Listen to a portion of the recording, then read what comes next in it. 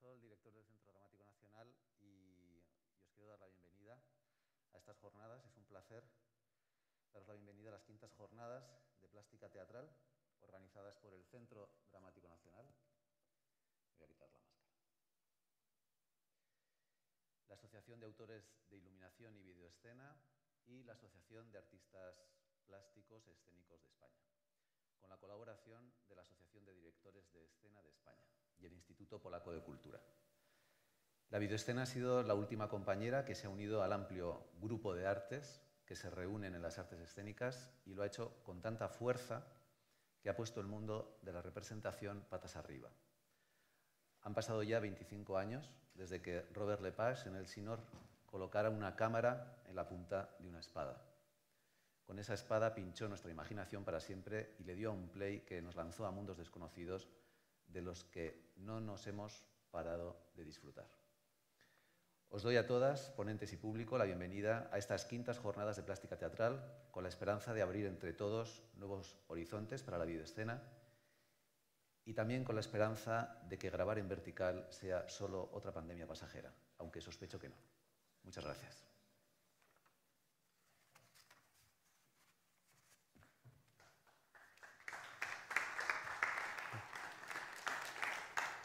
Eh, buenos días, eh, yo estoy aquí eh, en nombre de la Asociación de Directores de Escena en esta colaboración amplia que hemos abierto ya desde hace poco, pero que va a ser muy fructífera, pienso yo, entre las diferentes asociaciones que configuramos el complejo mundo del espectáculo teatral. Es evidente, como ha dicho Sanzol, que nos enfrentamos, yo creo que al margen de pandemias y otras cuestiones, a unos nuevos horizontes en los cuales todo el juego de la videocreación, todos los juegos que tienen que ver con lo virtual, van a suponer una apertura a nuevos mundos de contar la narrativa teatral. Jamás pienso yo que vamos a perder la presencialidad pero para los directores de escena no solo es algo que nos preocupe eh, desde el punto de vista de que vayan a superponerse lenguajes, sino que al contrario lo que queremos es que cada vez más eh, toda la cuestión de los progresos que se puedan hacer y que sirvan para hacer de la escena, del teatro, de la danza, del circo, ese lenguaje esencial de comunicación, pues nos, parece fantástico. Y por eso estamos aquí apoyando este, este, encuentro, este seminario que yo he realizado otras veces desde ahí, pero mm, mm, porque creemos que es fundamental mantenerlo, consolidarlo y proyectarlo en el futuro. Muchas gracias a todos los que lo hacen posible y gracias por vuestra presencia.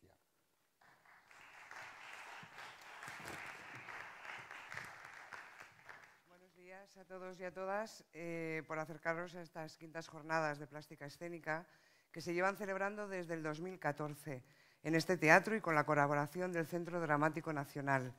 Muchas gracias, Alfredo, y a tu equipo por facilitarnos y apoyarnos en la continuación de estas jornadas. A ti, Pedro, recién elegido presidente de la AI, por acompañarnos en esta nueva aventura escénica que comenzamos en pocos minutos. Y, por supuesto, a Guillermo, que como presidente de la ADE también nos acompaña en estos días de actividad creativa y visual. Los tres que estamos ahora aquí nos estrenamos como representantes de nuestras respectivas asociaciones y es una casualidad y además muy buena.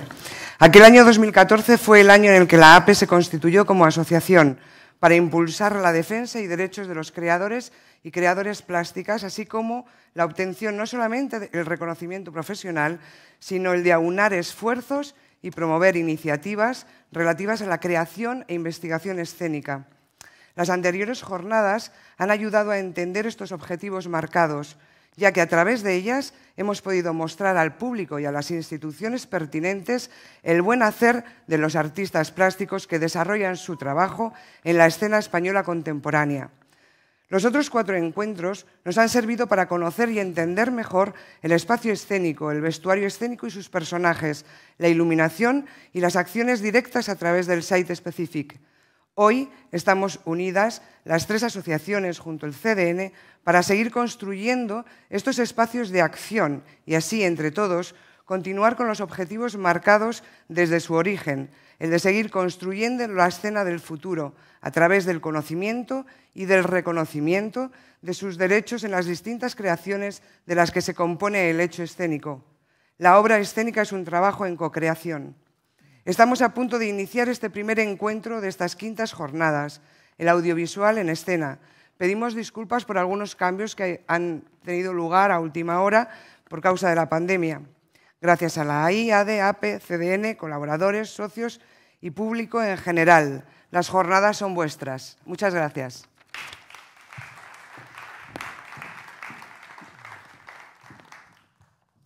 Buenos días a todas y a todos. En nombre de la AI, de la Asociación de Autores de Iluminación, de su junta directiva, de todos sus miembros asociados y patrocinadores, lo primero que me gustaría hacer es agradecer una vez más al CDN, al Centro Dramático Nacional, a Alfredo Sanzol, a todo su equipo directivo, gerencia, producción, oficina técnica, técnicos, que han hecho y harán posible que durante estos tres días podamos celebrar estas jornadas que estoy seguro serán del máximo interés para todos. También agradecer a la Asociación de Artistas Plásticos Escénicos de España, ELISA, y a la Asociación de Directores de Escena, eh, ADE, a Guillermo, por su estrecha e importantísima colaboración para la organización de las mismas. Y gracias Álvaro por tu enorme esfuerzo, profesionalidad y trabajo para poder sacar adelante estos tres días de encuentro en los que se abarcará con diferentes charlas, debates, actividades varias, performance y con importantes representantes de diferentes disciplinas artísticas, la visión que en la actualidad podemos tener de este arte que es la videoescena, el videodesign, videocreación o como lo queramos llamar, y que nos ayudará tanto a enriquecer el conocimiento como a paliar el desconocimiento que en la actualidad podemos tener de esta disciplina y de su intervención en la escena. Y que, como todos sabemos, y bien indicas Álvaro en tu introducción a las jornadas, ha tenido un papel sobresaliente en los meses de confinamiento y también en los posteriores, durante la pandemia, y nos ha abierto una puerta a una nueva realidad de las artes escénicas a través de la imagen, del vídeo, ya no solo a nivel nacional, sino internacional, muy merecedora de eh, un alto reconocimiento. Desde la AI consideramos el vídeo como disciplina artística fundamental, como arte enriquecedor, capaz de transmitir emociones y permitir la expresión del artista en cada momento y que en conjunción con el resto de intervinientes artísticos presentes en la escena, la escenografía, la iluminación, la música, el sonido, nos va a permitir que el espectador entienda de la mejor forma posible aquellas historias que se le están contando y que al final es lo importante. Consideramos necesarias estas jornadas en el sentido formativo, ya que lamentablemente, ya no solo con el vídeo, sino también con la iluminación, estamos todavía, y aunque sea difícil de entender, muy lejos de conseguir, y seguiremos luchando por ello, una formación y una educación reglada de disciplinas que consideramos son piedras angulares dentro de nuestro universo escénico. Para finalizar, creo que en los próximos años la simbiosis del vídeo con el planteamiento creativo de los directores, directoras y con el resto de disciplinas artísticas será de una importancia máxima, como ya en parte lo está siendo en la actualidad, contando con él como un elemento capaz de estar presente en la escena, no solo en un plano estético, sino también como dinamizador de, de los diferentes planteamientos dramatúrgicos que pudiesen surgir a la hora de abordar un proyecto escénico de cualquier índole. Muchas gracias a todos y a todas y buenos días.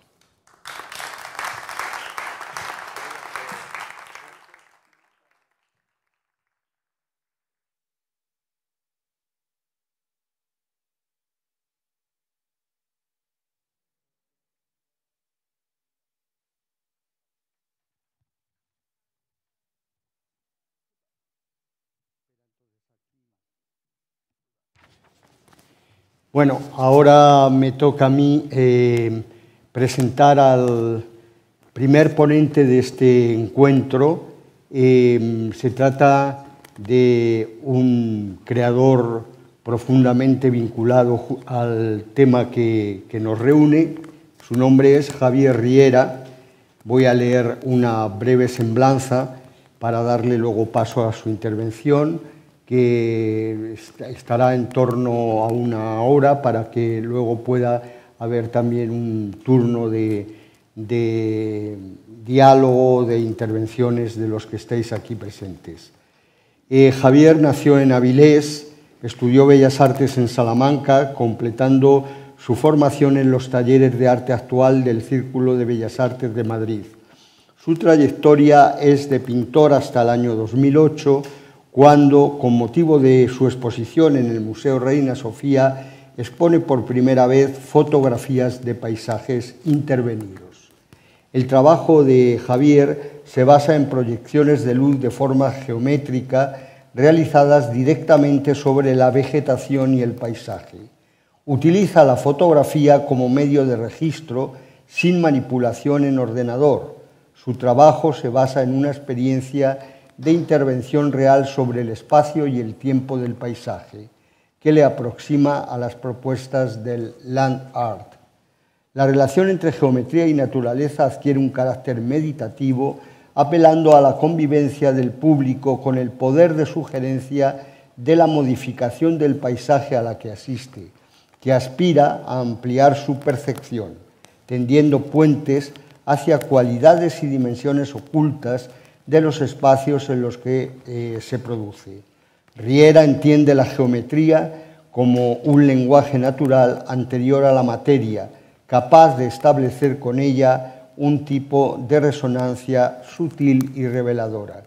Eh, tiene múltiples eh, intervenciones también en la Noche Áurea del Museo Nacional del Centro de Arte Reina Sofía, en Burgos, en Santiago de Compostela, eh, y también en su relación al trabajo de espacios públicos ha realizado intervenciones puntuales para Foto España en el MUSAC o en el CAP de Burgos. Destacan intervenciones como Alameda Yum en el 2012, en la que 11 eh, de sus instalaciones permanecieron durante dos meses en los jardines del Turia, o gráficos paramétricos del 2017 en el Jardín Botánico de Madrid como parte de Luna eh, de Octubre, que además recibió más de 6.000 visitantes. También ha intervenido en Annecy, en Francia, en el Karlovo Namexti Park de Praga, en Victoria Gasteiz, en los jardines de la Florida. Su obra se encuentra presente en colecciones como las del Museo Nacional, Centro de Arte Reina Sofía, la Fundación Caja Madrid, la Fundación Procesa de Asturias, Banco de España o la nueva colección Pilar Citorler. Javier Riera mantiene actividad docente en el Máster Foto España y en la Universidad Francisco de Vitoria de Madrid. Y ya sin más, vamos a dar paso a Javier que seguramente nos va a ofrecer en su ponencia una gran perspectiva. Gracias, Javier.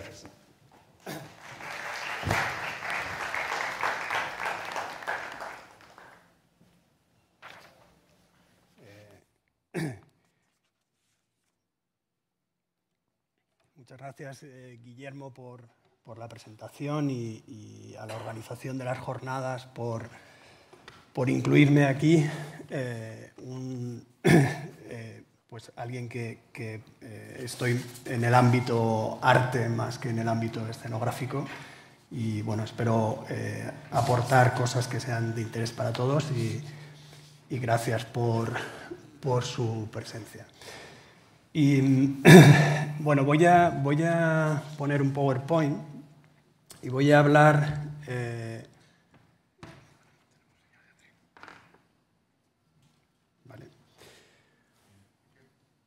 Voy a hablar en principio de... Eh, voy a presentar un poco las líneas generales de mi trabajo, eh, voy a hablar un poco de, referencias dentro del mismo, eh, porque para mí siempre es muy interesante cuando un creador me, cuenta un poco de dónde viene, cuál es el origen de eso que, que estamos viendo. ¿no? Y, me parece importante. Y luego voy a eh, mostrar, eh, voy, a, voy, a, detenerme más concretamente en proyectos eh, concretos y los voy a, intentar explicar. Em, y bueno, parece que tenemos una... Vale. Em,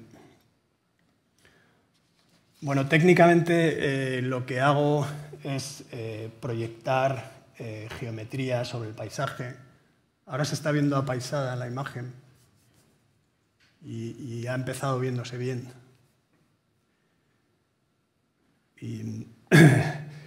Bueno, lo que hago es proyectar geometría sobre el paisaje. es algo digamos que reúne dos lenguajes visuales eh, aparentemente opuestos, ¿no? como es la precisión de la geometría eh, y la irregularidad del, paisaje.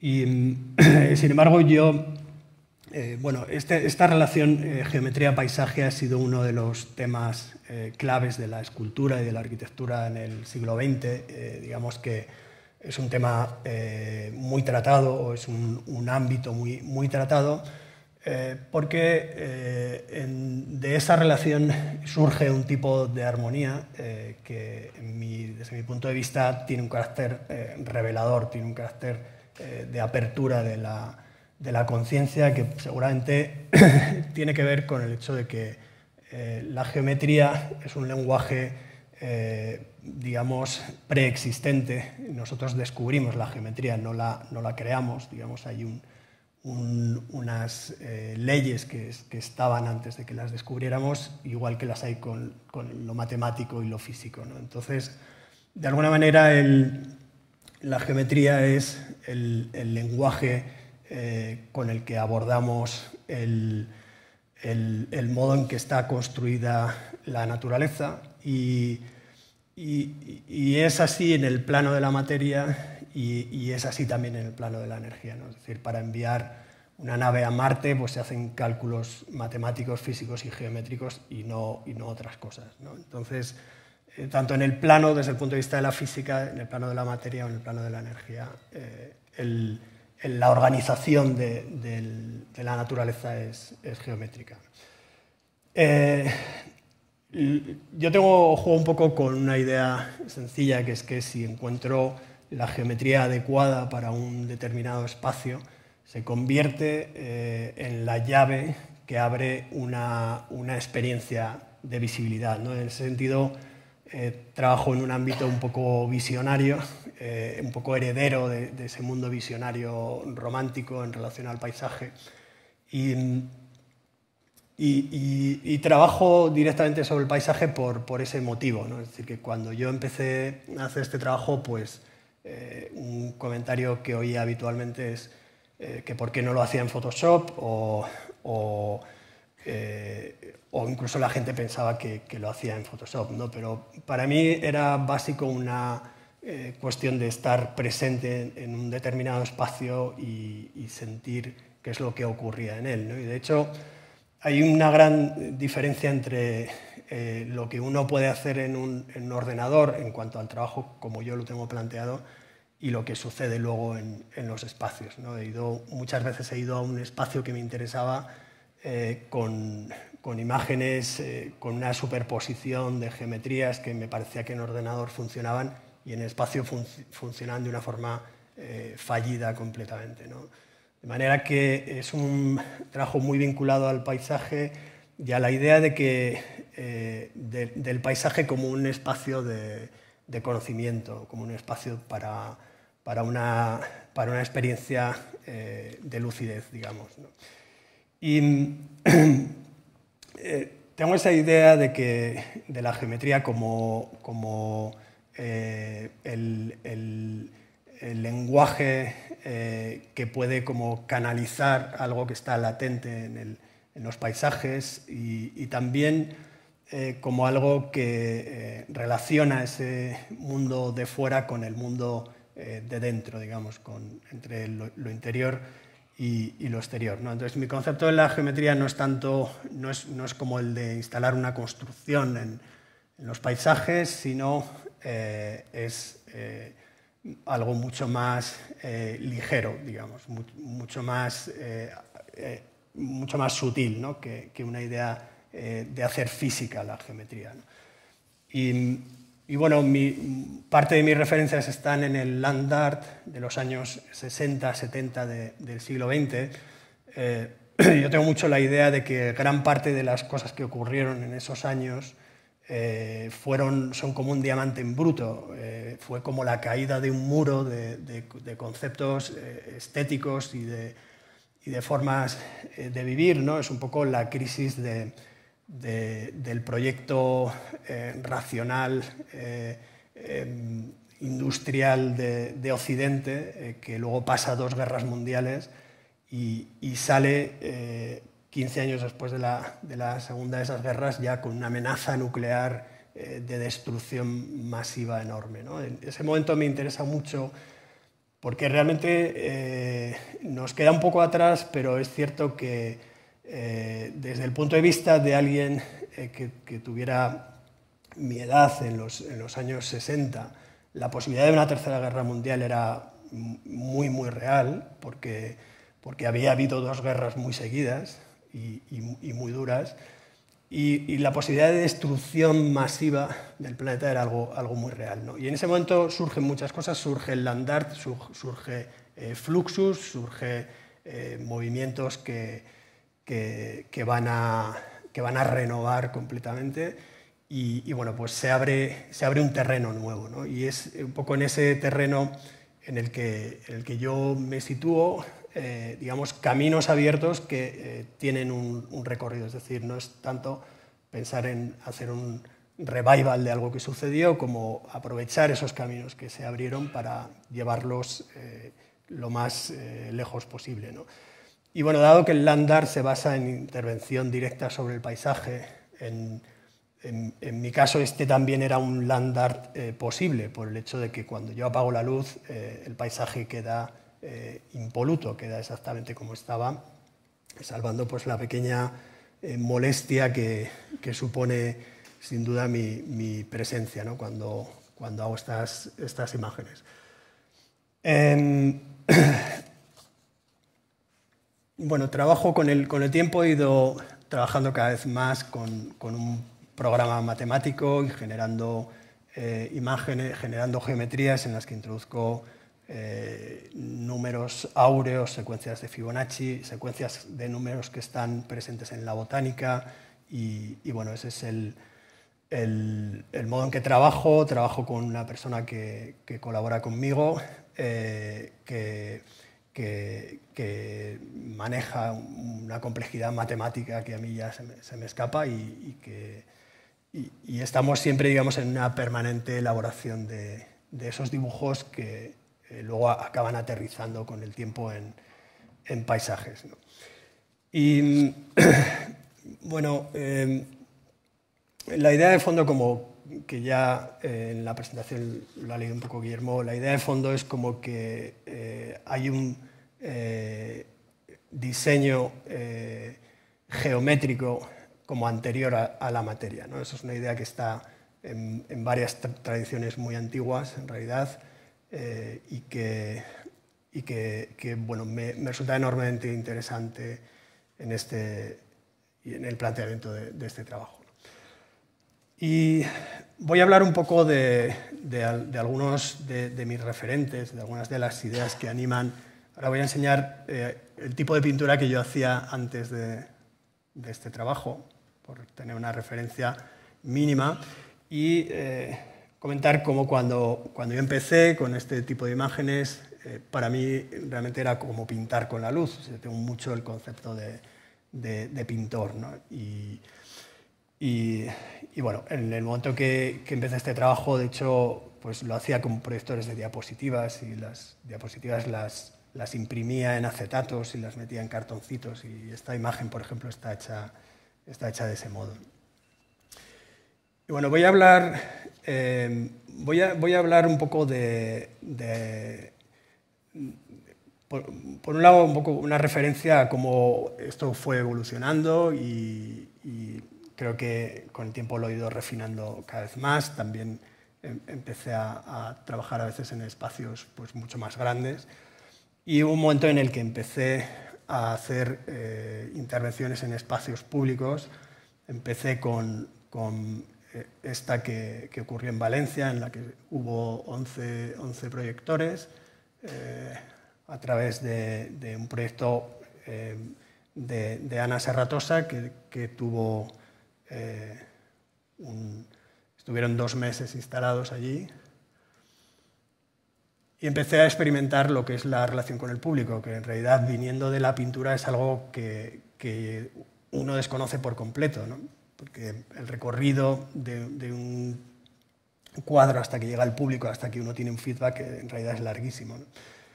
Y, bueno, la idea de, empezar a, trabajar en, espacios públicos fue, fue enormemente significativa para mí y, a partir de ahí pues lo, he hecho muchas veces y, también me he beneficiado un poco de un auge de, las cosas de luz que, a mí me ha pillado ya haciéndolo y entonces por ahí han, han aparecido opciones. Y esta es una intervención en el retiro, en el árbol eh, más antiguo del retiro, que está en la entrada del casón del Buen Retiro, y, en la zona que se llama el Parterre, donde eh, intervendré también en noviembre eh, dentro del Festival de Luz que se va a hacer en Madrid y, tendré una intervención en, en esa zona. Y voy a pasar un poco por, por esos eh, referentes, em, sin extenderme demasiado, em, un poco una referencia en relación a la geometría. la idea de la geometría, eh, y pongo a este pintor, Pablo Palazuelo, pintor español, que me gusta esta imagen en la que mira detrás de un cuadro porque él hablaba mucho de, que lo importante eran las ideas y no, y no tanto los cuadros. Y, estaba en una cultura del dibujo como eh, un, acto eh, de la imaginación que a la vez era un acto de penetración en la, fenomenología eh, profunda de la, realidad o de la naturaleza. Es decir, un tipo de dibujo abstracto que, sin embargo consigue ser descripción de algo esencial de, la naturaleza de, la realidad.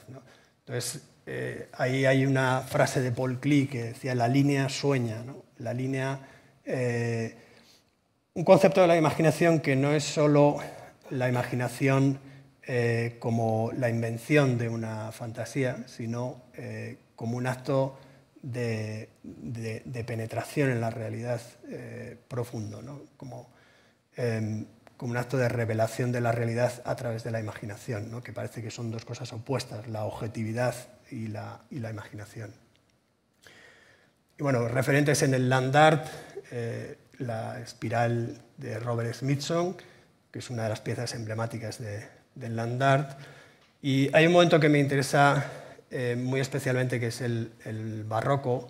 Eh, y pongo esta imagen porque el barroco durante un periodo de más o menos 50 años hay un cambio mm, brutal en la concepción del espacio. Digamos que el espacio eh, pasa de ser el gran espacio, el espacio infinito, eh, pasa a ser infinito en el, barroco, eh, dejamos de ser el centro del universo y además el espacio se amplía enormemente respecto al concepto espacial que había antes. ¿no? Entonces, todo eso ocurre a través de un simple aparato como óptico y, eso resulta en alguna medida catastrófico o en buena medida catastrófico para todo el concepto que, que el, hombre tiene, el hombre occidental tiene de sí mismo en ese momento. ¿no? Y eso genera eh, una, una, especie de, de, agorafobia, una especie de, de sentimiento de, angustia espacial.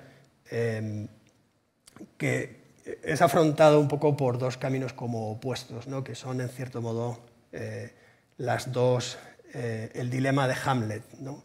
Eh, ser o, no ser qué es más elevado para el espíritu, afrontar con paciencia las vicisitudes, etc., o tomar las armas y luchar contra ellas. ¿no? Y ahí aparece un dilema así, que es un dilema que, creo que, que, de algún modo se hace permanente eh, y en ese momento se hace muy patente en relación al espacio. ¿no? Por un lado, eh, la opción dominación de ese espacio gigante, que, que es el camino que, cogen los monarcas absolutos, eh, sometiendo el espacio a la perspectiva, digamos, imponiendo la, racionalidad sobre el espacio. Y hay otro camino que, se abre, que es el de el estado fronterizo entre lo imaginario y lo real, la comprensión de que hay una la comprensión de que no es tan fácil distinguir lo imaginario de lo real. Y en ese sentido, eh, el, teatro cobra una fuerza inmensa como, como, representación, como, medio de canalización de, del, pensamiento y, de la emoción humanas. Y, y, bueno, pues aparecen imágenes como esta que, que estamos tan, tenemos tan asimilada, en la que vemos eh, Vemos cuadros, es decir, representaciones en la realidad, vemos reflejos como ese espejo que aparece ahí, vemos un hueco en el que aparece un personaje y todos esos elementos están encuadrados eh, en un rango que podríamos decir que es igual. ¿no? Es decir, ¿qué es lo que es realidad? ¿Qué es lo que es espejo? ¿Qué es lo que es espacio realmente? ¿no? Empieza a haber un, eh, un espacio fronterizo en el que, en el, en el que pensar acerca de que nuestro conocimiento de la realidad se mueve a través de reflejos, de representaciones, eh, de espacios que no sabemos si son reales o no. Y eh, este cuadro además tiene ese factor de, inclusión del espectador. ¿no? El espectador, Velázquez clava la mirada en el espectador que, se siente incluido en la obra. Ese, ese otro concepto del espacio fronterizo entre realidad y representación eh, me interesa muchísimo. Coge una eh, forma como un arquetipo visual también muy importante en, Vermeer, eh, ese estado de, asombro, ese estado en el que el ser está en suspenso, que es un poco a lo que quiero llegar. ¿no? Me, interesa mucho ese estado del ser en suspenso, en, contacto como con con lo intemporal, ¿no? con lo que no, no transcurre. Y es algo que aquí lo estoy mostrando con algo muy figurativo, pero que eh, está en la geometría. ¿no? La geometría es, intemporal, tiene ese carácter de intemporalidad eh, que, que, mi trabajo se pone en relación con la temporalidad del paisaje, ¿no? que cada minuto está cambiando eh, de, de, luz y de, y de situación. ¿no? Bueno, ese arquetipo de, Vermeer eh, pues será repetido, es un arquetipo universal y será repetido por Hopper, será repetido por, un fotógrafo cinematográfico como Gregory Crewson y, bueno, tendrá, tendrá un, enorme recorrido y siempre se cumple ese estado como del ser en, suspenso. ¿no? Eh, tenemos Vermeer, eh, tenemos Hopper, Aquí tenemos Gregory Crewson, ¿no? hay una, comunicación eh, total de, un, determinado estado, de, intemporalidad, de, ser en suspenso, vamos a decirlo así. Luego me, ha interesado mucho el romanticismo, en el que también eh, es sentido de fusión con el paisaje, eh, se, coge muchísima importancia y tenemos esos personajes que están de espaldas al espectador, con lo cual no vemos su rostro, el rostro es eh, el lugar donde identificamos a, las personas, es el donde se sitúa la identidad y aparece ese concepto de lo sublime, de la, de la fusión en ese paisaje, también eh, es un recurso en el que nosotros mismos nos, nos, identificamos con el personaje muy fácilmente al, no ver su rostro. ¿no? Ahora esas ropas ya no son muy ajenas, pero, pero el recurso está enormemente conseguido. ¿no? Hay una confrontación eh, con el vacío, pero a través precisamente un poco de ceder la individualidad, ¿no? de, en un contraste entre espacio vacío e individualidad, eh, hay un poco una, una, rendición ante el gran espacio, ¿no? que es eh, algo que, que, ya estaba en la pintura taoísta china de, muchos siglos antes. ¿no? Y bueno, en medio de ese mundo romántico también emerge la geometría, y emerge la geometría como, eh, como un puente realmente hacia otra realidad, como un puente hacia una realidad, eh, en este caso espiritual, pues dentro de un esquema religioso como el que tenía Friedrich. ¿no? Pero es, ese paralelismo entre el árbol y el elemento geométrico y cómo el elemento geométrico se convierte en el elemento trascendente de, la composición. ¿no? Esto me, interesa mucho y de hecho eh, encontré un, parecido entre una imagen de Friedrich, de ese pintor romántico, la de la izquierda, y una imagen de Palazuelo, de ese pintor que he citado eh, geométrico.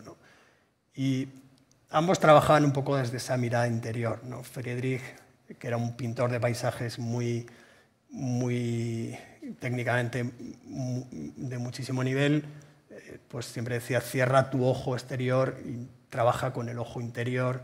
Eh, entonces se trata de ese, espacio de frontera entre, entre lo, lo, dentro y lo de fuera, en el que el paisaje es, es, un elemento de representación o la geometría es un elemento de representación. Esos vínculos paisaje-geometría me, me interesa eh, mucho. ¿no? Y también eh, pongo esta imagen de, Anis Kapoor, que es un, artista eh, que, que, habla de que lo que busca son condiciones de la materia, habla de cómo el rojo para él es un, es un elemento material, ¿no? El rojo es, es luz, ¿no? es la luz reflejada y, bueno, tiene este tipo de, intervenciones. En, esta es un elemento que se mueve muy, muy lentamente por unos raíles. Esta intervención fue hecha en un, en un palacio italiano y, se movía eh, de un modo muy lento y iba atravesando puertas, dejando eh, huellas. Digamos que aquí no hay una expresión emocional, es, es, es otra cosa, ¿no? es digamos que el arte se ha, volcado mucho en una idea como de expresión y, también el arte ha sido también eh, siempre descripción de algo objetivo, ¿no? descripción de, una realidad, ¿no? de una realidad eh, que está más allá de la, de, la más palpable. Y bueno, por no extenderme ya mucho más con las referencias, para mí una referencia importante fueron las imágenes de, de cristalografía de, cristales de agua que, echas al microscopio. Em, otro de mis referentes es esta artista de Macunz, que trabaja con, eh, trabajaba con, con, un péndulo y creaba unas geometrías de un modo completamente intuitivo que tenían, eh, al parecer, propiedades sanadoras o eh, esa es la, la intención, Brancusi, una búsqueda de, imágenes esenciales que, bueno, creo que, es muy relevante y eh, finalmente voy a citar el, mundo de los crop circles que aparecen en los campos de, trigo de, Inglaterra, sobre los que no hay así una explicación de cómo aparecen y, y bueno, hay muchas teorías, los extraterrestres, etc. Y, y para los que nos gusta la geometría realmente son muy fascinantes porque los dibujos eh, son extraordinarios. ¿no? Yo la verdad es que cuando enseño esto me parece mucho mejor que lo que yo hago, pero no puedo competir con la tecnología extraterrestre. Y entonces lo asumo, pero realmente es, es una cosa maravillosa. Y bueno, voy a hablar de, de algunos de mis proyectos. Em, eh, este es un proyecto le tengo especial cariño, que lo hice en el Museo Barjola de Gijón. Eh, la sala de exposición es una capilla eh, desacralizada antigua, eh, barroca, y tiene esa pared que, que, está completamente vacía, y luego tiene esas hornacinas, tiene elementos que tienen una enorme presencia. El espacio es, es muy, muy fuerte. Y bueno, yo lo que lo que hice partía de, esta imagen, eh, que eh, es una parte de una secuencia eh, de imágenes que fui tomando desde el momento en que era de noche hasta el momento en que amaneció completamente, con la cámara en el diafragma y la velocidad iguales. ¿no? De manera que, bueno, lo voy a, se va a ver mucho mejor enseñando el proceso cuando el espectador entraba, lo que encontraba era eh, simplemente la geometría eh, con la textura vegetal. Em, Y luego, poco a poco, a lo largo de un tiempo largo, eran nueve minutos, eh, iba, iba amaneciendo, iba aclarándose la imagen y iba empezando a aparecer el espacio. El espacio iba adquiriendo presencia. Había un tiempo largo también entonces de convivencia entre la, imagen proyectada y el espacio. Y bueno, iba a saltos muy grandes, esto era muy, muy paulatino. Luego el paisaje iba desapareciendo, pasaba por un momento así como de paisaje chino también. Y finalmente quedaba una pared completamente blanca de luz y el protagonismo absoluto del espacio. Acababa un poco en la desaparición de la, de la pieza. ¿no? Y, y, en, la, y en la, el protagonismo total de, del espacio.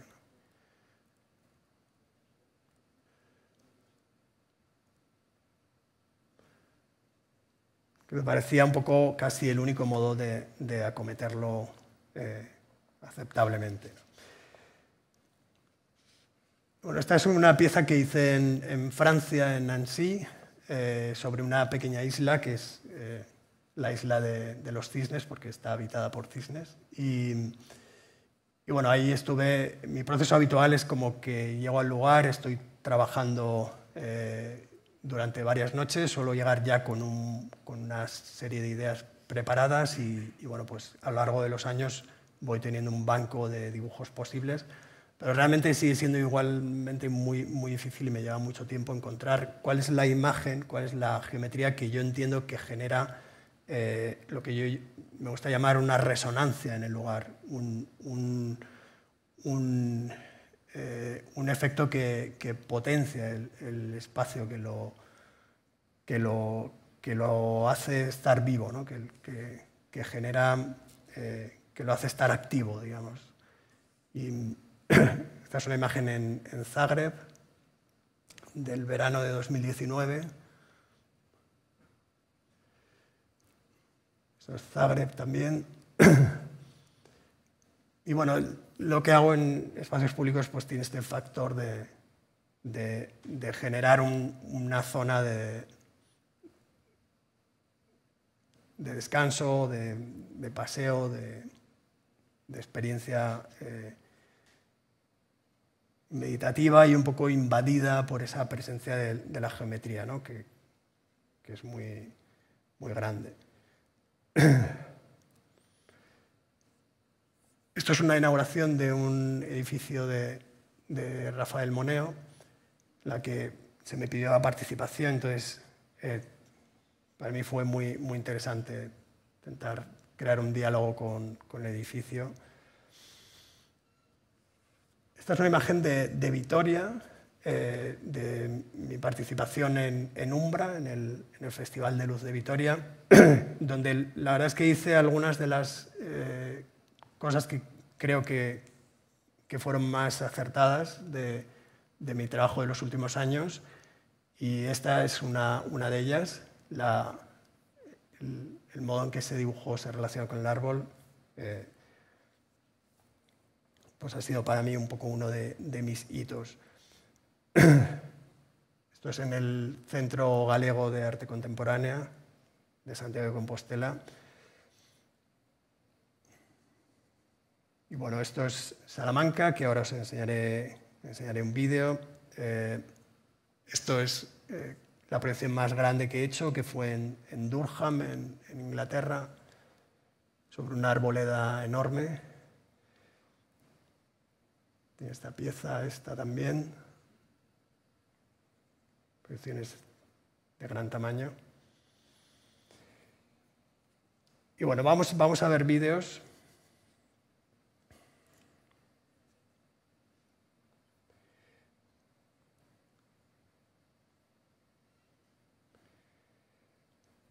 Los vídeos que voy a mostrar duran eh, un minuto, un minuto y medio.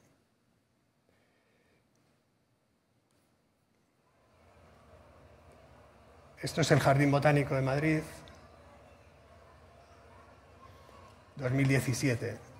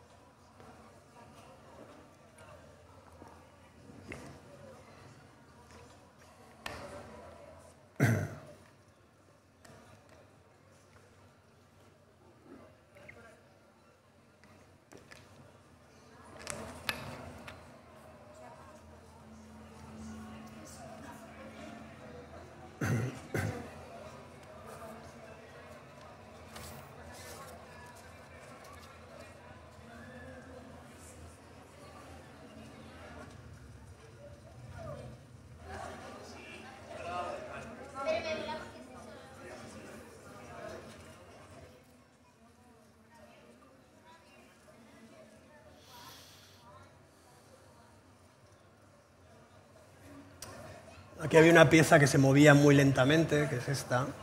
Casi había que estar parado para ver si se estaba moviendo o no. Y eso es lo que me interesaba, ¿no? ese movimiento muy, muy lento, muy tridimensional. Estaba sobre un castaño enorme.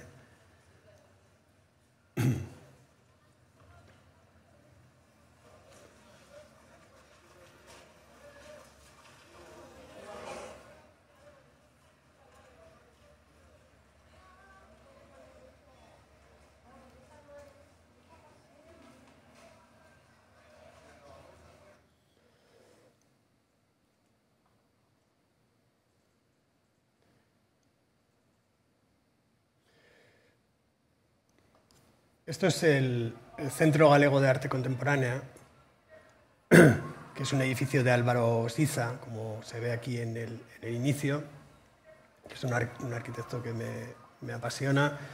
Y, lo que tiene enfrente es un, parque antiquísimo con árboles muy antiguos. ¿no? Entonces, eh, lo, que, lo que hice aquí realmente era muy, muy fantasía, ¿no? generaba un mundo muy, bastante tridimensional en esa parte que acabamos de ver. Y en un momento que me empezó a interesar mucho el, conseguir un, cierto efecto tridimensional en las, en las cosas que, que, voy proyectando. Entonces se convierte también un poco como en esculpir el, el jardín. ¿no?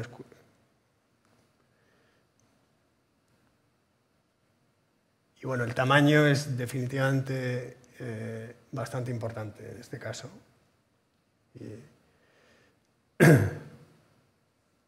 para ese tipo de efecto que, persigo, que tiene un poco que ver con esas cosas de las que he hablado, ¿no? con, una situación de, asombro y de, contemplación. y bueno, que mis proyectos son, bueno, voy a enseñar también eh, lo que hice en Umbra, porque la verdad es que además en vídeo creo que se ve mucho mejor, aunque el vídeo en este caso no es, muy bueno. se ve el aspecto de esta pieza.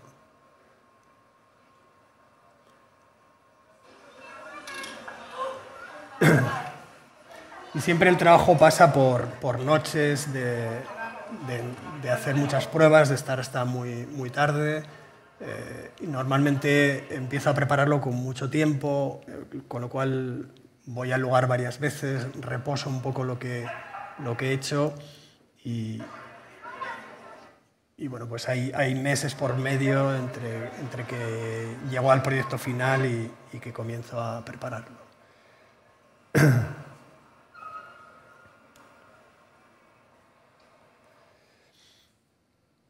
Y voy a enseñar un proyecto más eh, figurativo, entre comillas, que es eh, este eh, de Salamanca. Este, este, proyecto se llamaba Hacer leve la tierra y tiene que ver, la frase, el título tiene que ver con un libro de Gaston Bachelard que se llama El aire y los sueños y tiene que ver con la desaparición de los pájaros en, en Europa. ¿no? En los últimos 50 años ha desaparecido generalizando mucho, eh, más o menos el 50% de los pájaros de Europa, de, los, de especies muy, muy comunes, ¿no? y de, unas especies más que otras, pero por simplificar el dato sería, sería así. ¿no? Entonces, eh, bueno, Bachelard también ha sido un, referente para mí y la idea de cómo la ausencia de los pájaros, además de un desastre ecológico, es también un, un desastre eh, en, lo que es nuestro imaginario, ¿no? que queda como mutilado, ¿no? que todo ese mundo metafórico que se ha generado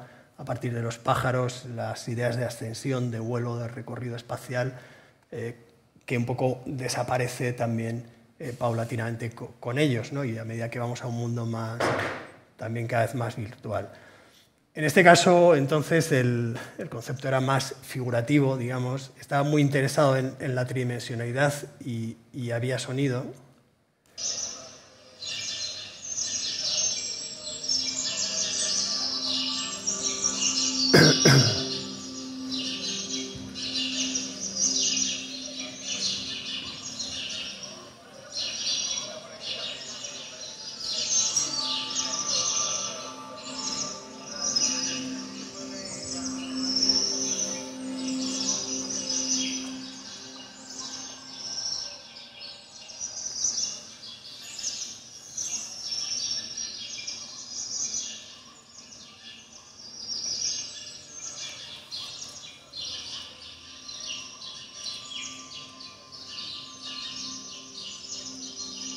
Las imágenes había transformaciones, ¿no? iban, iban cambiando. También eran cambios lentos, pero, pero había, permanecía la misma imagen y luego había un cambio que duraba unos 20 segundos, en los que la imagen se transformaba.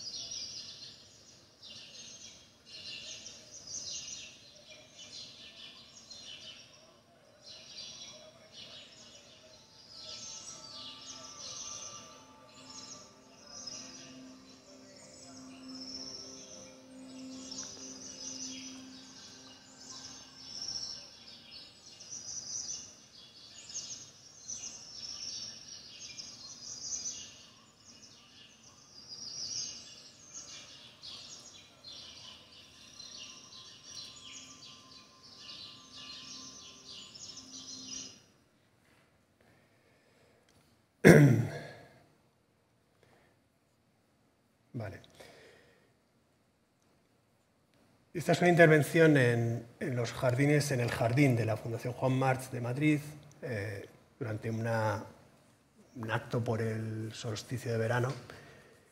Y aquí esas esculturas eh, tenían para mí mucha, mucha importancia, el, modo de, relación de, esas, de mis geometrías con, con las esculturas.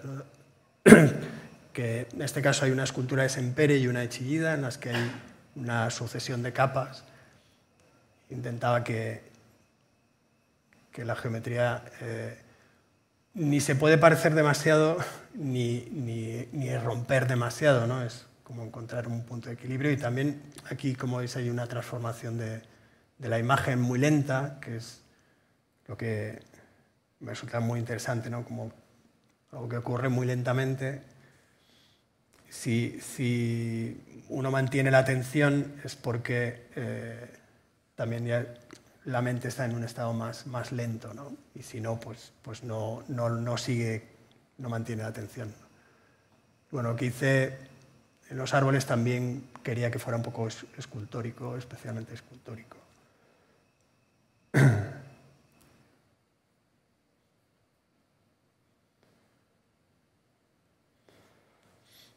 Y ahora voy a enseñar un, proyecto un poco distinto, eh, que es este.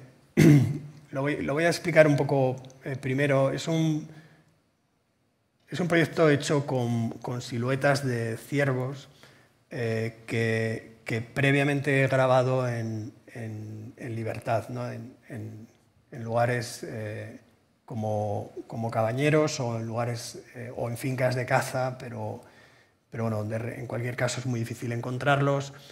Y mi idea, esto es el centro Niemeyer de, de Avilés, eh, mi idea era, la primera vez que estuve en el centro era como, estaba oscuro y era, realmente es una cúpula, era como una cueva, ¿no? Entonces, eh, lo, que, lo que planteé era un poco repetir el acto del hombre primitivo de pintar animales en las, paredes y en los techos eh, con la tecnología actual y con el objetivo de que esos animales tuvieran eh, ciervos, eh, tuvieran la máxima naturalidad, lo que hice fue grabar primero esos ciervos, que fue algo muy trabajoso, y después generar esas siluetas por un proceso de, rotoscopia.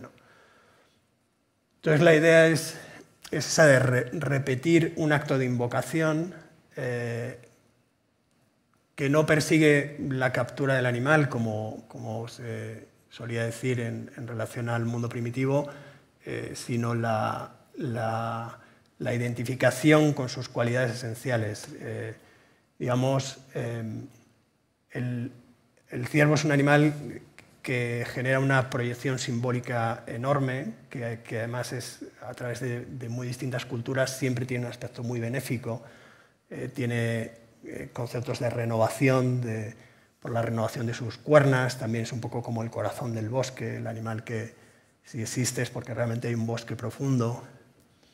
Y me interesaba mantener las luces encendidas, el hecho de que no se ha hecho la oscuridad especialmente para esto, sino que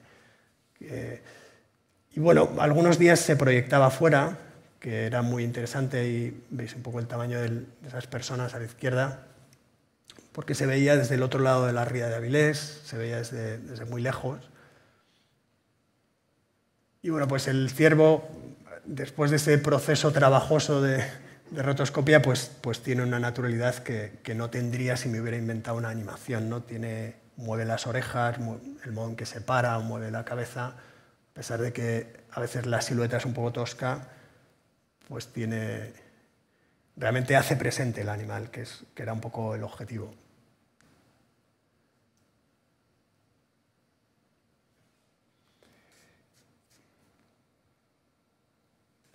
Bueno, esto de los ciervos eh, lo he hecho en algún otro sitio, en Asturias. Tengo solo este pequeño vídeo. Ya con más ciervos. Esto es en Oviedo.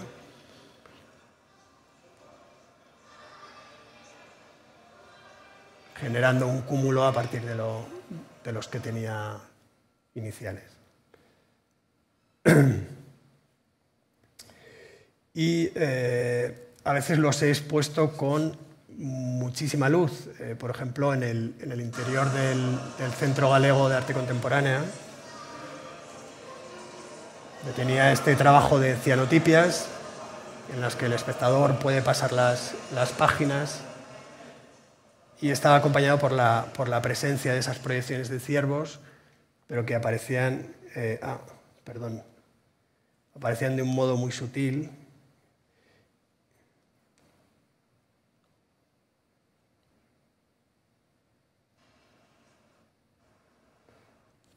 Bueno, creo que me he equivocado de vídeo y solo aparecen los, las cianotipias.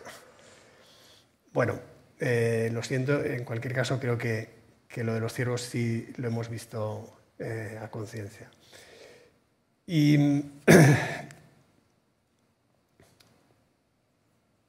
vale, aquí está. Aquí hay un lucernario que, que, no quería tapar, entonces la presencia del ciervo es, es realmente muy sutil, es casi como eh, algo que casi no se ve y eso también es lo que me parecía muy interesante, ¿no? el hecho de que fuera algo que el espectador un poco descubre como de un, de un modo secundario entre el espacio.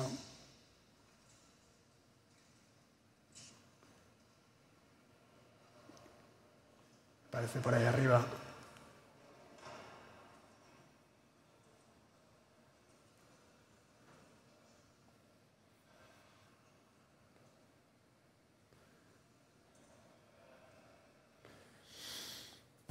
Y voy a enseñar eh, también algunas eh, de las cosas que estoy haciendo últimamente. Eh, estoy realizando intervenciones sobre el paisaje pensadas realmente para, para ser mostradas en, en vídeo, porque en directo para mí esto se mueve muy deprisa, pero en vídeo creo que, que es muy interesante entonces estamos trabajando en, vídeos geométricos que puedan tener esa, convivencia con el paisaje y, dentro de un, movimiento pues, pausado y,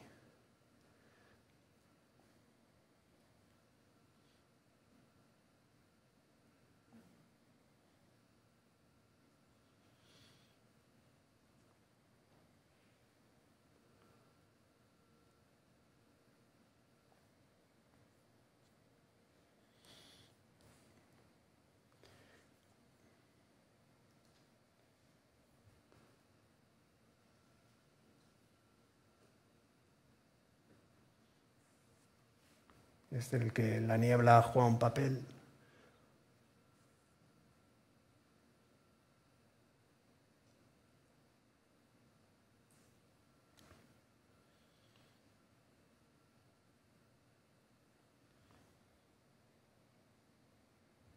Bueno, todavía pienso que es algo que se mueve muy deprisa, que se debería mover más despacio. Pero este sí, actualmente es un camino que, que me interesa desarrollar.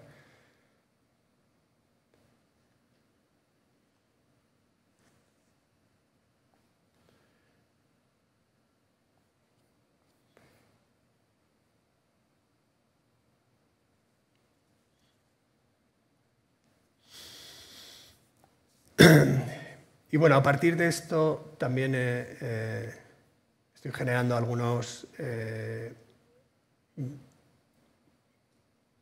algún tipo de vídeos más pensados para ser proyectados sobre, sobre pared o sobre, o sobre espacios sobre espacios públicos, pero sobre, no sobre árboles, ¿no? sino tenía un... justo por el, por el COVID se anuló un proyecto de, de, de, hacer una intervención en, en, la Plaza de Colón, en esas piedras eh, enormes que hay. Y, y, bueno, pues ahí hubiera, hubiera ido este tipo de, de imagen.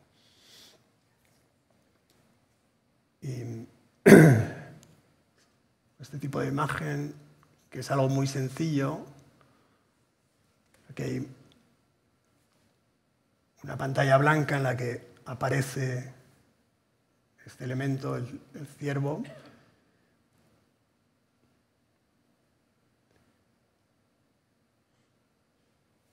Y enseguida vuelve, vuelve a desaparecer. ¿no? Entonces es un poco la idea de tener este vídeo en, en loop y como ese momento en el que algo se hace presente, algo aparece, algo se revela o se comprende y luego pues vuelve, vuelve a desaparecer.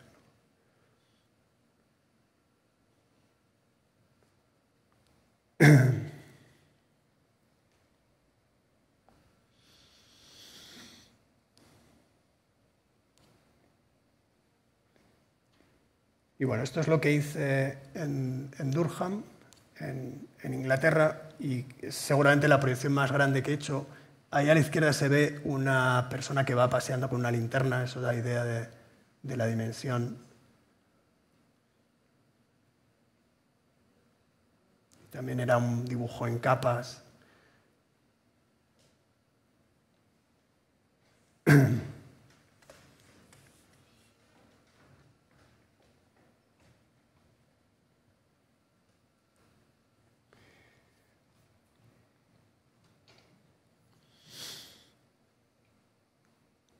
Y bueno, en el otoño pasado hice un, un proyecto que se expuso en el, en el, eh, en el Centro Fernán Gómez, en, en, una sala que hay en la entrada, una pequeña sala, realmente era una instalación no, no muy grande. Y de ese, de ese, proyecto tengo también un vídeo y eh, como salgo yo en el vídeo explicándolo, pues os ahorro mis explicaciones en persona. Y bueno, lo vemos, eh, al menos unos minutos, estaba... Sí. Vale, muchas gracias.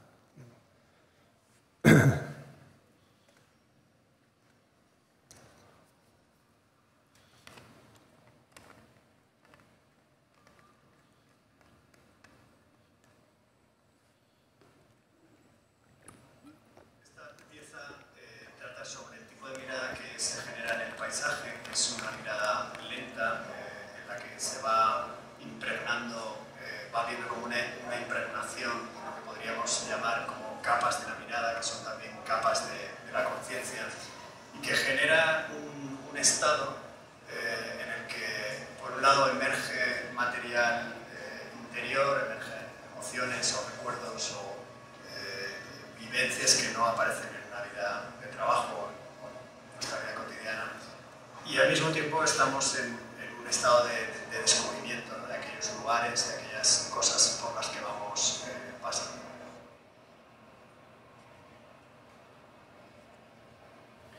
Bueno, la pieza estaba, era una proyección en capas sucesivas de, tela, de, de gasa,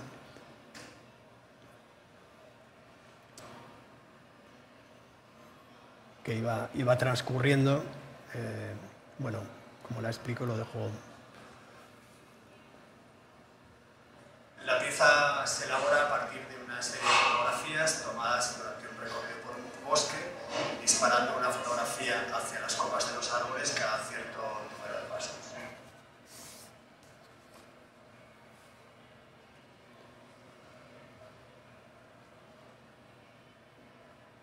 La instalación eh, trata de, tener también una dimensión escultórica a partir de las formas sobre las que está transcurriendo esa, esa proyección, con un carácter nocturno y, un poco onírico y, y de ocupación de, de espacio.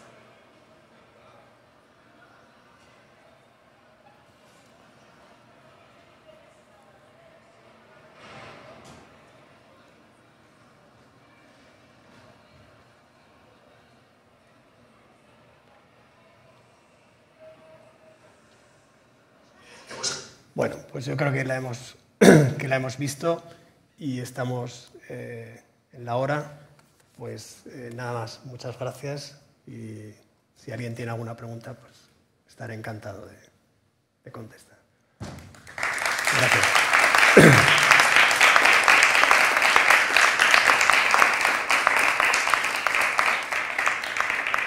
Tenemos un micro volante para aquellas y aquellos que quieran plantearle a Javier cualquier tipo de cuestión. Aquí la primera, Juan. ¿Me oís? Sí, ¿no? No sé si se oye muy bien el micro. Sí, yo creo Eh, que sí que repito los buenos días, Javier. Y nada, agradecerte y felicitarte una vez más por el maravilloso trabajo que desarrollas. Eh, a mí me gustaría que nos hablaras un poco de una cuestión práctica de cómo es la convivencia con, en todos los entornos donde trabajas, en ciudades, en jardines, en, siempre hay un poco de lío con, con respetar las normas establecidas de seguridad y de todo esto. ¿Cómo es la convivencia con toda la contaminación luminosa que, que hay en los espacios donde intervienes? Eh, no sé si nos podías hablar un poquito de esto y cuáles son las dificultades con las que te encuentras. Bueno, la verdad es que en, los espacios públicos se resuelve apagando las farolas, ¿no? Digamos que, que no, hay, no hay otra. Es como... Ya. Eh, eso es porque eh, a menudo tomo fotos cuando estoy haciendo las pruebas, porque esas fotos luego me sirven a mí y, y luego se me olvida tomarlas cuando ya está la, la obra hecha. Entonces, me ocurre mucho que en la fase de pruebas eh, están las farolas, porque eh, un- una cosa que me suelen decir es que el ayuntamiento, para que apague una farola y tal, esto ya lo conoce seguramente. Y entonces las pruebas solo hacerlas con, con farolas encendidas.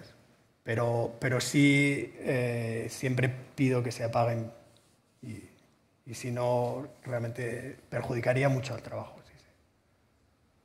sí.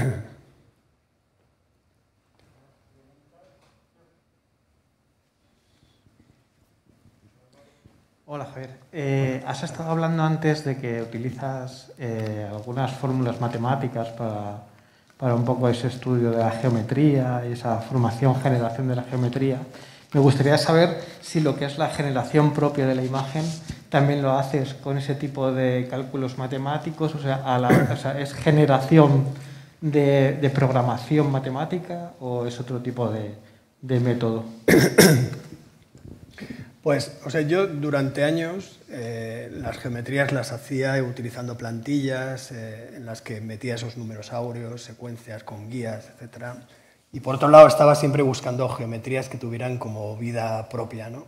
Y, hay muchas muy antiguas que, la tienen, que realmente están como activas.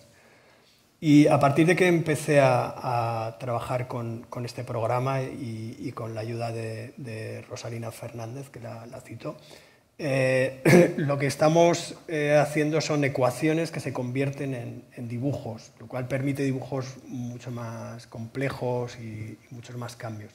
De manera que, realmente son números que se transforman en dibujos. Es, es literal, cambias una cifra o una coma y el dibujo cambia. Entonces, ¿respondo a la pregunta? ¿He respondido a la pregunta?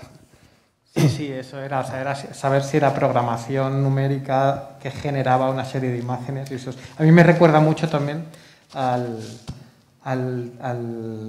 la plantilla juguete que teníamos de pequeños, que eran unas plantillas que ibas haciendo círculos. Sí, sí, sí, me encantaba. me recuerda un poco a eso, porque jugar con esas geometrías simples, realmente hay algo que el cerebro creo que te hace clic y de repente es como una cosa de no parar y me parece súper interesante. Sí, sí. Sí, en este caso el programa es un programa que se llama Matemática, que tiene una parte gráfica, o sea que no es tanto programación como tal, como un determinado programa, que la parte gráfica es la parte menor, es un programa que usan matemáticos para, para cosas que no son gráficas, pero, pero, tiene esa posibilidad de que vas pasando a, a gráfico. Y sí, esas eh, a mí me encantan, vamos, me regalaron una hace poco de, jugar.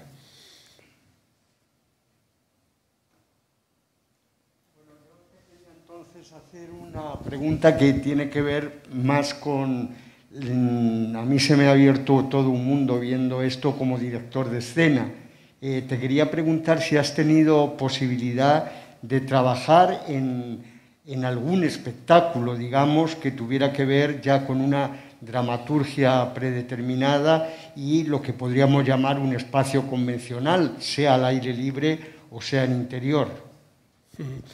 No, la verdad es que nunca, nunca lo he hecho. Eh, me encantaría hacerlo, pero, pero no, no, se me han dado las circunstancias, digamos, nadie me lo ha propuesto hasta ahora, digamos, pero, pero sí es algo que, me gustaría mucho. Y, pues ojalá, ¿no? Ojalá, ojalá esta transversalidad de lenguajes creo que abren unas posibilidades enormes, nunca desde el conflicto, sino justamente de la Claro, muchas gracias.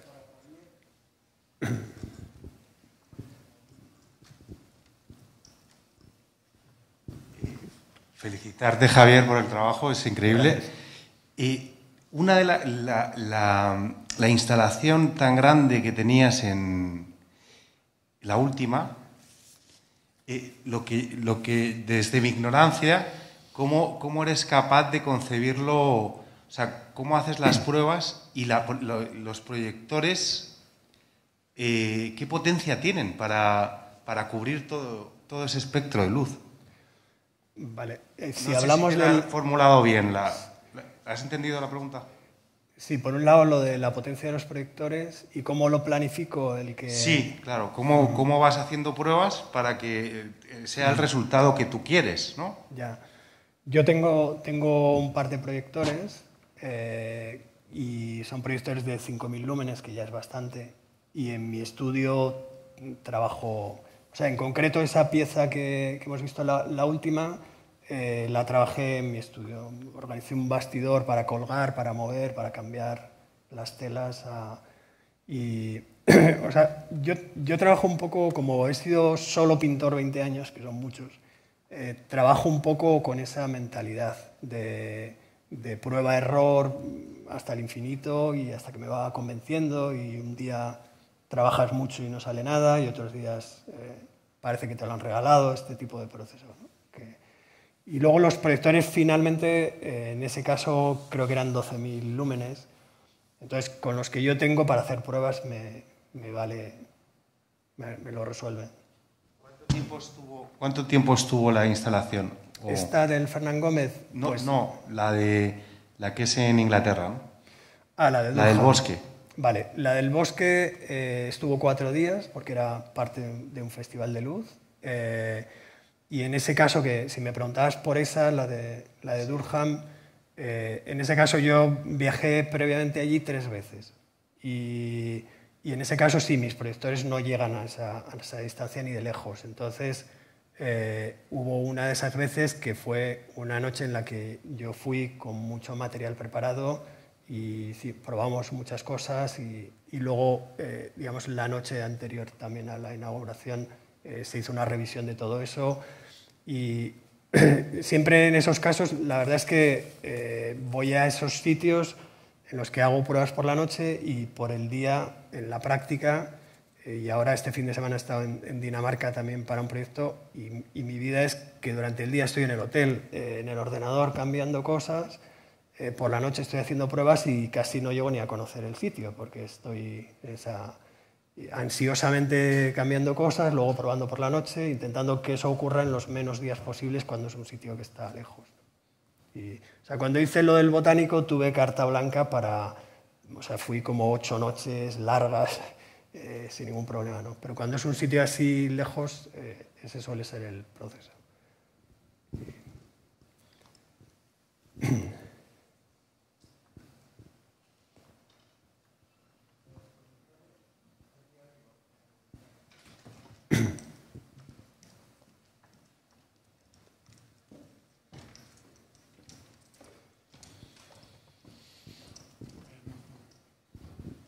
¿Qué tal, Javier? Buen día. Eh, antes que nada, felicitarle nuevamente por el trabajo que hace. Eh, yo estoy trabajando en un proyecto de, de videomapping y proyección y tengo una duda ante su trabajo.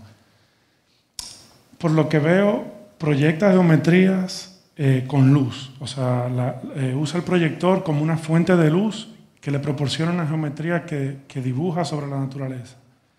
¿Alguna vez ha pensado trabajar con imágenes y o sea, con que la imagen ya tenga una textura, así que no solamente como resalte la naturaleza, sino que también le agregue algo suyo a la naturaleza. No sé si me explico. Eh, no solamente como usar el proyector como una fuente de luz, sino también usar el proyector como una fuente de luz y textura que le agregue al paisaje natural que, que resalta en su obra. Pues si hablamos de textura, eh, como lo vegetal ya tiene una textura muy, muy marcada, eh, yo creo no, no me sugiere ese paso, digamos, porque pienso que lo que yo proyectara eh, tendría que competir con esa textura de las hojas. ¿no? Entonces, a mí precisamente me fascina la geometría con, con, textura vegetal y entonces me he quedado, me he quedado ahí. ¿no? Y, y, proyectar imágenes, porque te refieres exclusivamente a una imagen con textura, ¿no? No a, no a proyectar cualquier otra imagen. ¿no? o sea, aprovechar la geometría que, que consigues, pero que como el proyector te da la opción de que también, aparte de luz, a esa luz que se, se proyecta se puede proyectar con algún tipo de textura. Ya. Como utilizar eso como también otro recurso de no solamente resaltar, sino también agregar un toque, bueno, que ya lo haces con la luz, claro, pero que, para ver qué otro tipo de, de proyectos o ideas surgen de, esto. Ya. Bueno, pues la sugerencia es interesante y te la agradezco. Y sí que me ocurre que yo estoy, como te digo, muy fascinado por la, por la textura vegetal y, y, yo me planteo como que si doy un paso más, por ejemplo, no utilizo color eh, porque eh, quiero que se mantenga como un diálogo entre ese paisaje y la proyección. Es decir, intento, intento eh, que la proyección no sea como una imposición sobre, sobre el paisaje, que no pise el paisaje, que no, que no domine el paisaje, aunque, claro, digo intento y algunas de las que hemos visto, pues se podría decir que no cumplen, ¿no? Pero, pero intento que sea una relación de, de diálogo con, con los árboles, etc. Entonces, con esa idea de, que haya un, de que la geometría se, apoye eh, y, esté realmente actuando artísticamente, siendo el canal de, algo, ¿no? Entonces, es, uno de los motivos por los que evito el color, por ejemplo, que sería muy, muy también es una cosa que sería muy normal, ¿no? que yo proyectara en rojo o en azul, o, y bueno, hemos visto un azul, pero prácticamente lo evito siempre. Y, y para mí el, ver la textura con el dibujo geométrico es, eh, algo que me fascina. entonces, añadirle una textura me, me, parece que lo separaría más del paisaje. Y, que en ese sentido también quizá hay algo distinto de, en relación al mapping, no, no lo sé, porque yo no, no, no hago mapping, ¿no? Pero en el, mapping uno trabaja con un elemento que es el edificio, que, no está vivo, ¿no? Y yo tengo mucho la conciencia de que trabajo con un elemento que está vivo. Y, entonces eh, la relación es distinta, ¿no? Porque es más afectiva, por así decirlo. Y,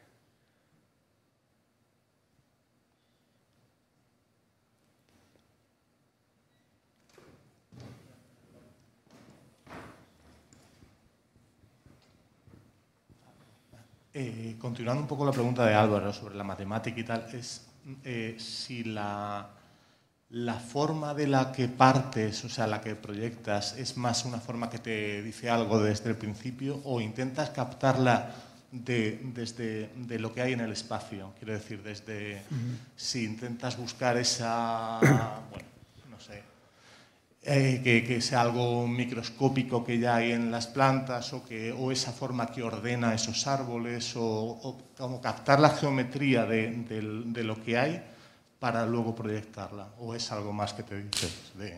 Mm.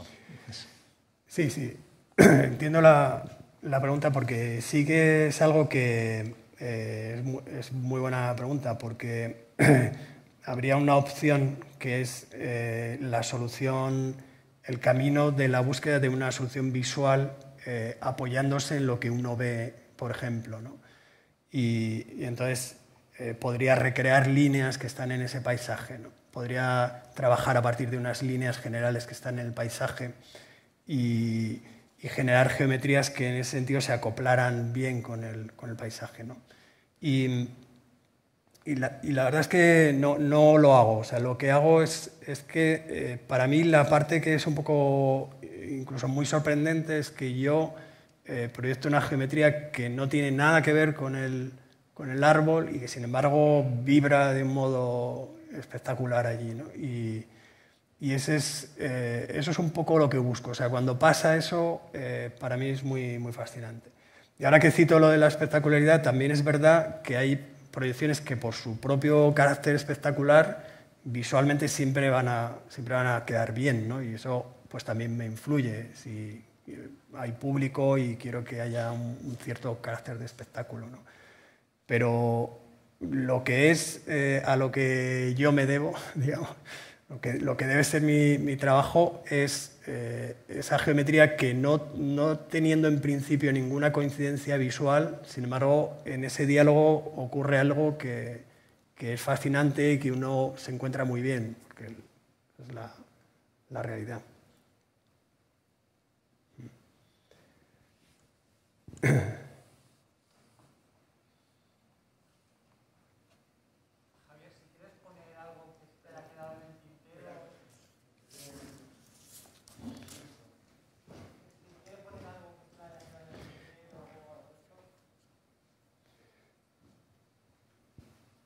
Eh, vale, sí, no, no hay mucho en el tintero. Eh, os puedo enseñar, eh, la verdad que he ido también bastante rápido con la idea de, llegar a la hora. os puedo enseñar, esto, esto es parte de lo que iba a proyectar en Colón y que bueno, pues tendrá otro, otro recorrido. Y también es como la geometría, está pensado para, para un espacio estático. ¿no? Para una pared, digamos. Y en este caso una pared que ya tiene unas formas y unas, unas curvas. Entonces trabajo con capas del mismo dibujo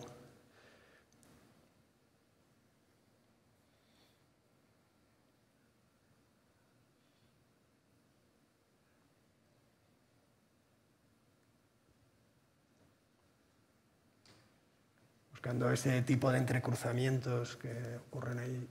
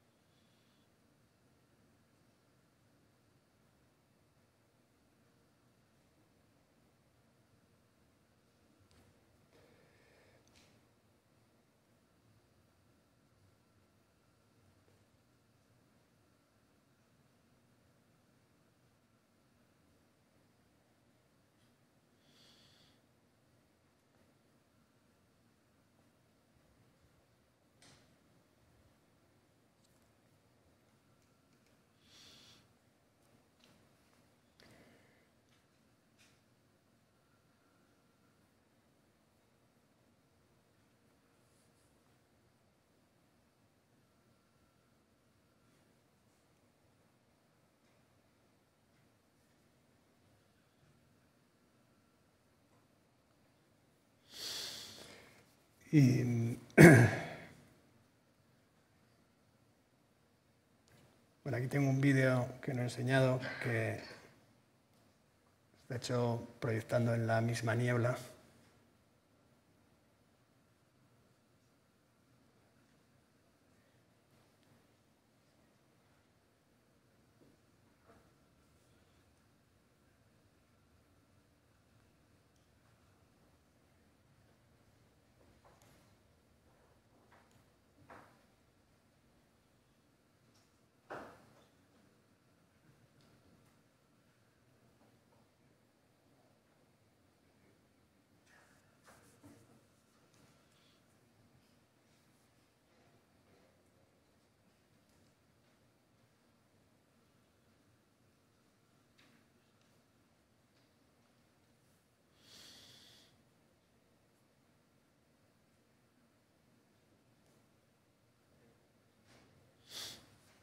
Bueno, yo creo que,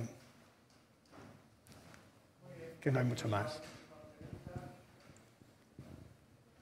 Bueno, pues agradecerte mucho, Javier, por esta Muchas magnífica gracias. intervención que yo creo que abre muy brillantemente este encuentro y ese deseo de convergencia dentro de poco con tus grandes imaginaciones para llevar a, a escenarios más convencionales. Muchas gracias, muchas gracias a todos. Gracias.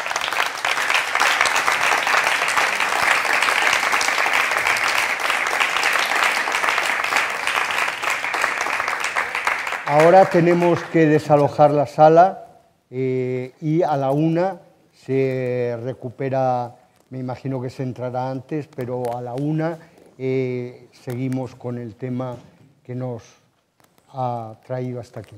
Gracias.